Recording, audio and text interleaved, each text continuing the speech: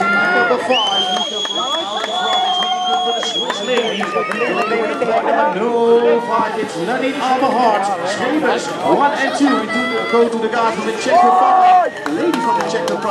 Is a Lisa Partikova. She is looking good in spot number three, I think. And one of the French ladies, Emma Suto, made it through to the main event.